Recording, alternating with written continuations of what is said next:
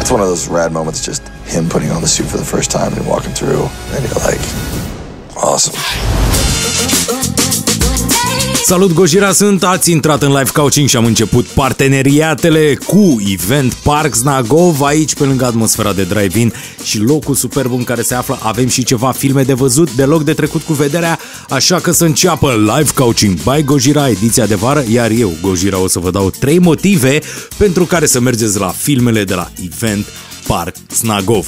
Apropo, avem și o reducere de 15% pentru bilete dacă accesați linkul din descriere pentru toate filmele de la Event Park Snagov și folosiți codul Film Live toate detaliile în descrierile acestui filmuleț și avem exact așa, sâmbătă pe 1 august avem selecția de scurmetraje premiate la filmul de piatră, iar astea sunt trei motive pentru care ar trebui să le vedeți. 1. Filmul de piatră este un festival independent de la noi care se întâmplă de regulă în Piatra Neamț, iar Anul ăsta, din cauza pandemiei, aceste scurmetraje se pot vedea doar aici și doar sâmbătă asta, 1 august.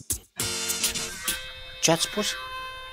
Zic, nu o să mergem la Ion cu mâna goală. Nu-i frumos.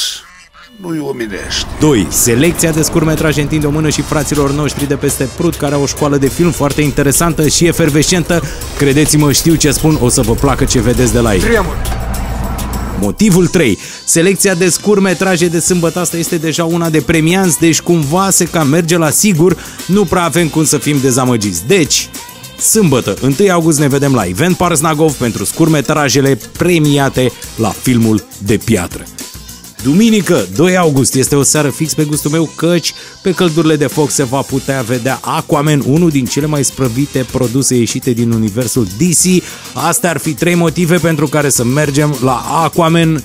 Motivul 1, costumele și setup-ul. Deși par un fel de animație supraprodusă, Aquaman este impresionant ca producție, fiind un foarte bun balans între fantastic și realism. 2. Dolph Lundgren, care la vârsta lui arată fenomenal dintre toți actorii de filme de acțiune din generația lui. Domnul doctor inginer chimist, da, asta este meseria lui Dolph Lundgren. El a îmbătrânit cel mai bine. Motivul numărul 3 vine și cu o întrebare. Oare există un ecran îndeajuns de mare pentru Cal Drogo sau uh, Jason Momoa sau nu există niciun ecran îndeajuns de mare pentru Jason Momoa. Duminică 2 august avem de văzut la Event Parsnagov Aquaman și nu uitați de reducerea de 15% pentru bilete pe care o puteți accesa din linkul din descriere folosind codul FILM LIVE. Gojira sunt, v-am pupat!